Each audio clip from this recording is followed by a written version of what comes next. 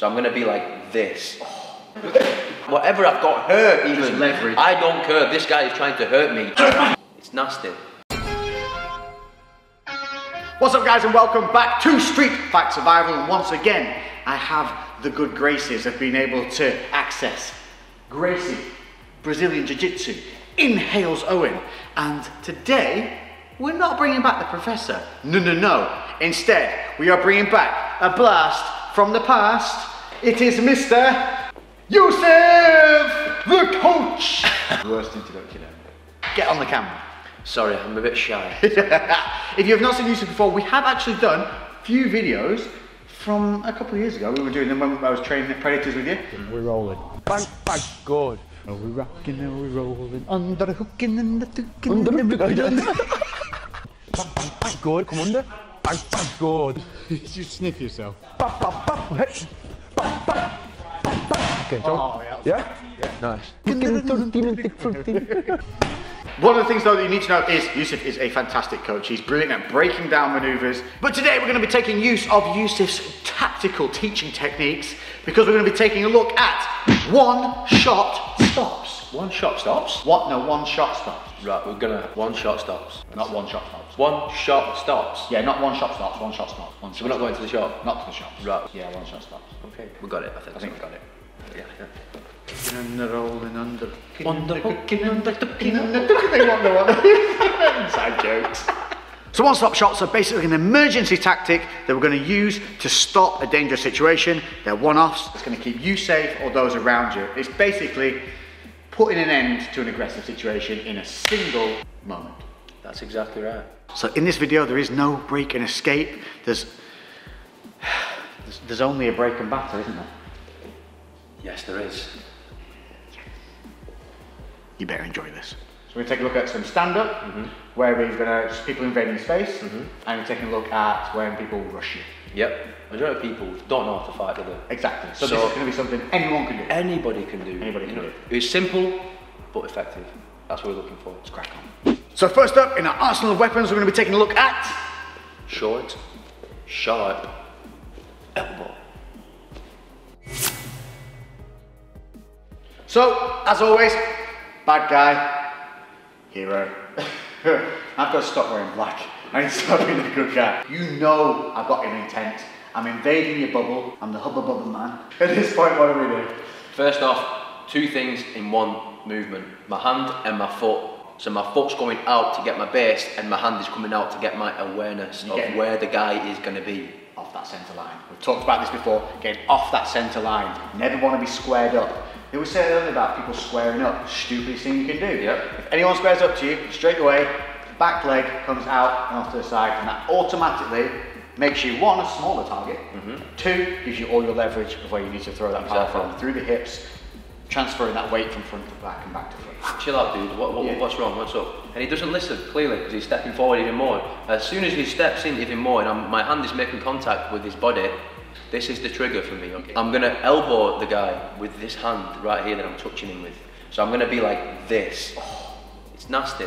You can see I'm stepping in. As you step in, I'm going to put my foot, my lead foot, Just gonna step just six inches. doesn't even have to, but it, just to get that angle, dominant angle, Yeah. it's better off. But you don't have to, because things happen so fast. So here, Oh. step, boom, Boom. step in. Now, if this doesn't stop me here, because he stepped off there, he's now set up a perfect angle. I'm facing this way. All my power and all my energy is this way. He has got a clean, straight right shot, boom, to really finish that. Or, yeah, if you've got the dexterity, kicks, knees, whatever, it's there. Chances are, though, if you land this, they're not coming back for more. Good night. They're not coming back for more. We're coming in, the hand goes out, whoa! chill, chill, chill. This is important as well. Defensive hand. Exactly. It looks like you're defusing, whoa, don't want any trouble. What it actually is, is defense. Just in case. So you are guarded on your right hand side, which is going to stop. Even if I do get a shot in, it's blocked. But the moment you see me step forward, even loading there, bang, I'm and stepping in. Off. Beautiful. Really short, really easy. You know what it's time for, don't you? You look so happy, why? You can start smiling. As always, on this series that I devised of my own doing, we like to show you things in real time so you can see how effective they are. So Oh no, that feels against the cheek. 40 percent. 40? 40. 45.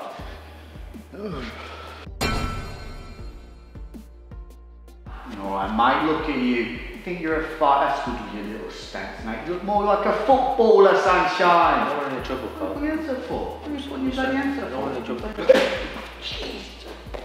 Oh. Oh, that sucks. Ugh.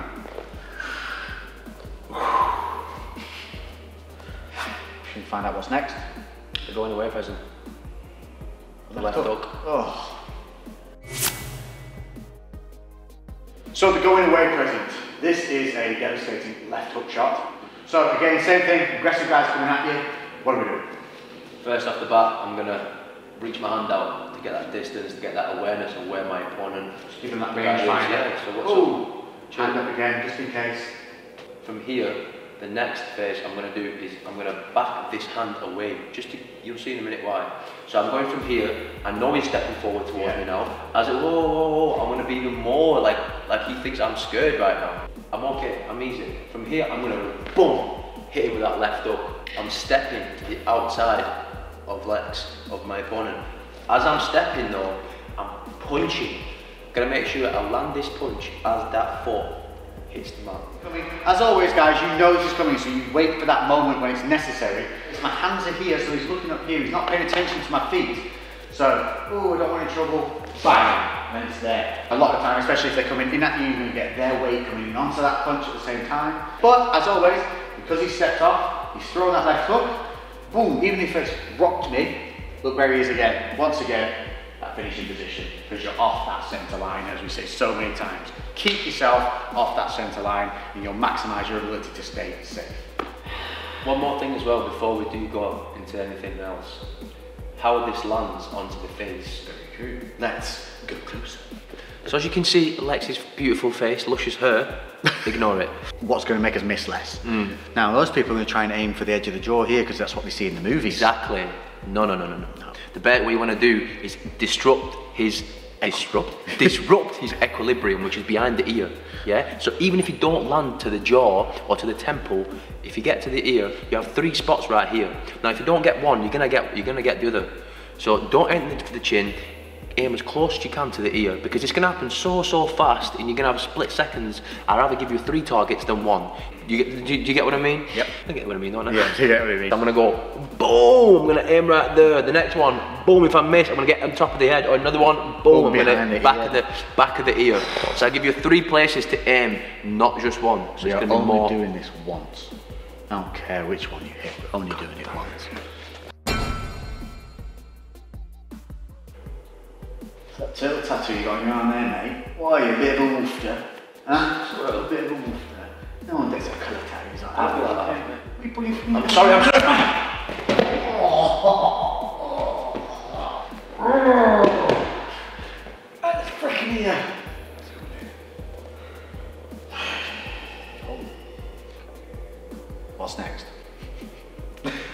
Someone with a bit more anger. Someone who wants to actually physically hit you, So next up is fighting off a punch. fighting off a punch. So as we know, most street fights, a lot of time it's not clean, it's a scrap. There are times when punches are going to come your way and we need to know how to react to them. We have shown you these in some previous videos, so make sure to check those out, uh, where we're showing you the defensive guard, the standard styles, something a little bit different in some. So, where are we at? So the conventional way you get taught is keep a high block, right? Let it come to you. Tuck behind, brush the hair. Brush the hair, exactly. Well, another method um, I like is instead of letting them come to you, why don't I go halfway, which takes the power off the shot that they deliver. Especially in a street fight when you see these things winging in Exactly. Yeehaw. Exactly. territory. Exactly. Yeah. So, Lex is, let's say Lex is gonna throw that punch right now. So if he's gonna throw the back over and right, I'm going boom. I'm going wide. I can see it coming from a mile away. And the important thing is that I'm blocking it with my elbow. It's gonna hit the elbow, hit the forearm, and I'm telling you, Lex has felt it. Yeah, this sucks. When he swings, it hurts. Because I'm looking at it here, and if that's suddenly getting stopped there, and I'm hitting bone on bone, forearm to forearm, that is akin nearly to shin on shin mm, sometimes. if you catch that right, there's some a lot of tendons in there to get messed up. It can really do, do a nice short, sharp shot, which is what we need. Because once that comes in, and you block, As soon as I'm there, his face is just looking. Just that's to get a beautiful shot in the face. so from here, I'm blocking straight away, and I'm gonna fire that right across, straight down the pipe. straight down the chin, straight down the nose, make him look pretty, you know. Once again, what you are not looking to do is clip them on the bottom of the chin or get the perfect knockout. What we're looking to hit is somewhere in this region, from the throat up to underneath the nose. As long as you hit somewhere in there, I guarantee it's going to put a stutter in their step. Another great thing about this is, if I had a bottle or some kind of weapon in my hand, this is the defensive move you need to use against it. Because if you just cut behind your head and I had a bottle, I'm still smashing that over you, which could cut you, lacerate your arms or anything like that. Whereas, bottle in my hand, I come in, boom, you're stopping that halfway. Now we're removing that danger of impact from the implement in my hand. So another great one for if they have a weapon. See the punch coming, blocks it, down the pipe. Boom. Conventional. I, I, I don't think I don't think they need to see that in real time. I think that's relatively self-explanatory. Uh, I think, well, you do, but I think they just answer. I think they do. You're supposed to be my loyal supporters. Thanks, guys. In real time, so you, evil human beings, can see what it looks like.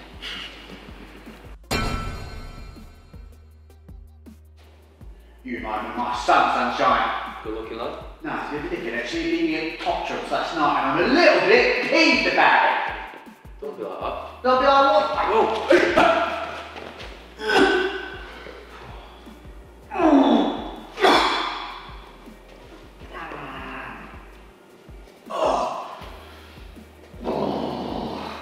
Works.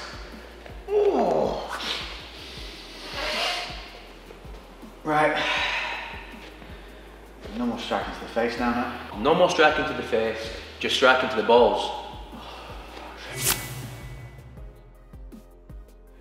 A few ladies might watch this. Some other people who just like smashing balls might also watch this. If that's the case. Where are we at? Same theory, same thing. The punches come, you're blocked Boom. here. I'm getting my stance. Priority. Priority number two. I'm blocking the shot. I'm not letting it smash me in the head. From here, like Lex said, we have might have women who don't want to punch with the hand.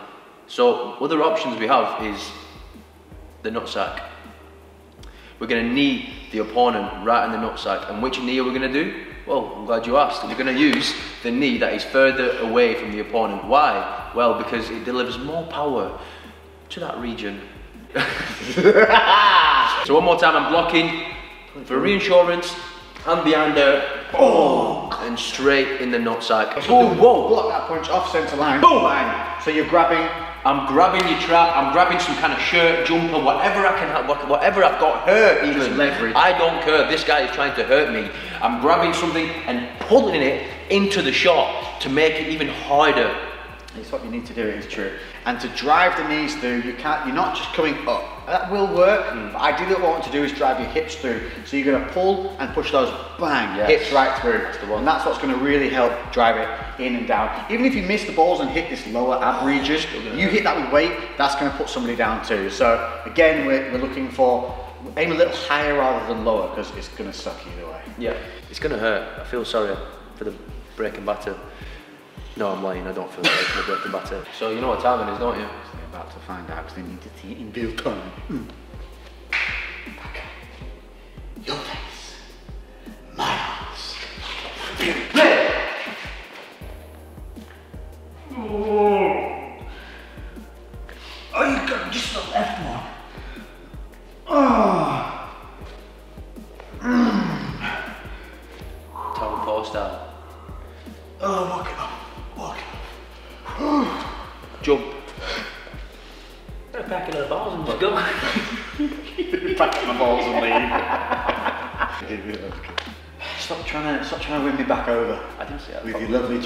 Not going to win me back over with it. But what we do need to do is show people how to deal with maybe a bully rush. The Yes, standard, good the idea. classic. The one where it always usually ends up in that scrap point Yes. anyway, where somebody's come in, it's all got a bit leery, and I've ended up grabbing you around your waist or bull rushing in at you. Yeah, you see that all the time? All the time. What's that technique where I'm going to be using this? Well, let me just have a look in my pocket. What have I got in there? Um, oh, I've got a good one. Right, okay. Stop lulling me in. Let's do the conventional rush. What's it looking like? Les? Someone's like they're just they're maybe doing throwing a big lazy And punch, like, you watch it and they just on? He's locking onto you. My first priority right now is, apart from getting my hips away from th- this way, away from him, I've got a little nasty trick. What I do is I, I bring my hips into him and then I go away. But Oh God of the mouth. That's oh, I'm ready for that. It's nasty. Ooh, It's I've got a lot of pressure on your shoulder It now. does, it does, it's nasty. It's actually counterintuitive, Yeah, counterintuitive because you're not supposed to go towards him. But Oh. what you do is because, because you're going boom, boom. It's almost like you had um, one of the teachers about like the clinch, clinch, the double double on the clinch, clinch, yeah. exactly the same. We talked this before. If somebody's struggling with a clinch and they're really strong and you can't pull them down, it's called a double tap. So you pull, release, then that makes them think they're pulling away, and then snap Boom. back oh. down, and it will work on the biggest of human beings. I've come in, Yeah. or we've been, Whoa. or we've been scuffing Whoa, whoa, wrestling, and then. I've come there. So he's seen it coming, and as I get to here, I go. boom, boom, oh, Jesus Christ, that cracked my neck. I'm sorry. Even if you just decided to just do that, that's a shock stopper. But we're dealing with an aggressive individual here, Yes. someone who's not stopping. So once I've come in there, what you're actually going to do is maintain control. The hip hops, what's going to, it's going to give me that moment of short, sharp shot. I'm here, I'm, um, my hips forward, my hips Bang. back, I'm being nasty. Guess what? He's quite strong, right? He's not let go, he wants to fucking keep that Yeah. grip on you. Fine, no worries, pal. This hand goes underneath, that's going underneath his armpit, right? Very important. This connects to the hand, to my forearm, that this hand, my right hand, has got back of his head. So I've got two controls. I've got head control, and this hand is going underneath, and it's connecting as a frame. It's looking like this, that's what it's looking like. Yeah. Yeah? This is known as the whizzer. It's known as the- as the whizzer. So if it was just here, what he does is he comes underneath the armpit, and what he can do from that is if he puts his body weight forward and rolls his shoulder forward, that is putting a huge amount of stress on me here. Because from there he can literally control. I should have the Under- technically I should have the advantage here. Yeah. So this is a way of getting your advantage back from what is essentially a weaker. Uh, situation for you to be in. I'm going to leave this arm alone for now so you can see, but imagine this has come round and gripped here. So I've come in there, I grabbed that, he Boom, boom, so he's cleared his hips, and now he's safe. So you need the double pop to clear the hips. And now, even if I try my strongest, right, I'm gonna, come out, I'm gonna try and rush it, Yeah, go. Jesus Christ. And you're just I'm not even, bro, bro, I'm not even, I'm, I'm not, I'm using no strength whatsoever. It's just I'm just- straight mechanics. I'm just looking at my own balls. They're very soft. I So from my here, choice. I regret my choice Boom. already. Oh. straight away, look, it's right there. It's- yeah, you oh. can see that legs, can't you? Just look at me, yeah, yeah, Oh, boom, there we go. Jesus Christ. There's nothing I can do about that. That, that, that lock on the head, I'm going nowhere. I'm basically just sitting target. Exactly. Oh, will it work in real life? Let's have a look at it in real time. Are you ready? In real time, so you guys can see it. You're so good to your fans. It's good to you. It is. Pay my hospital bills. You sound like one of them judo jitsu guys. Yeah, what are you gonna do? It's a bit of that clumsy old way. A bit quick, aren't you? A bit like that. Yeah, Come on, then. Come on, tough man. Yeah. Oh. What the? Ah. Ah.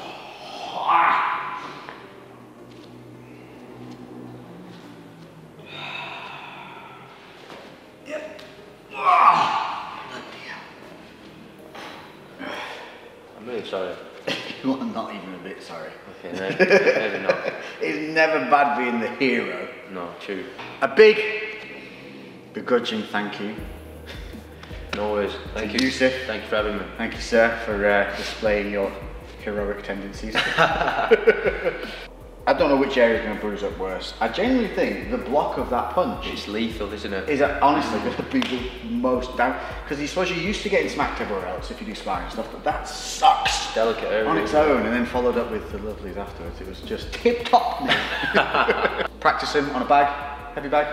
Heavy bag, you can go with a partner. Just some you can do on. it yourself towards a mirror. But as we always say, don't try it on your nan.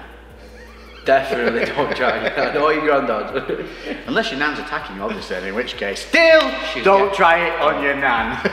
you were going to do the nan. Oh, you were going to do the nan. on that note, we'll catch you next episode. We're out. La coupe